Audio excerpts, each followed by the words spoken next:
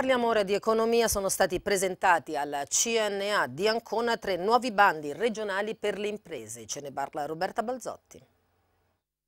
Moda e arredo, ricerca e innovazione digitale, economia circolare. Sono questi tre ambiti per il finanziamento di attività e progetti ai quali fanno riferimento i nuovi bandi della Regione presentati a una platea di oltre 100 imprenditori e imprenditrici alla CNA di Ancona.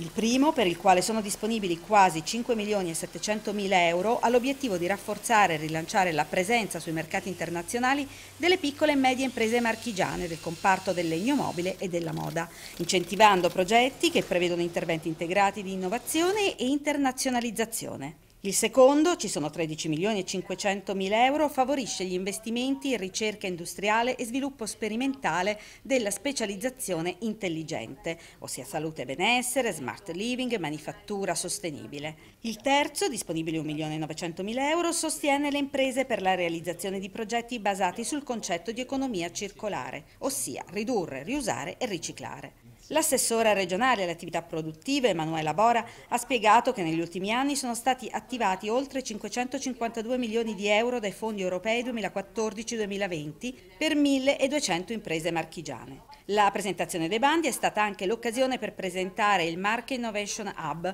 per aiutare le imprese nei percorsi di innovazione e sviluppo.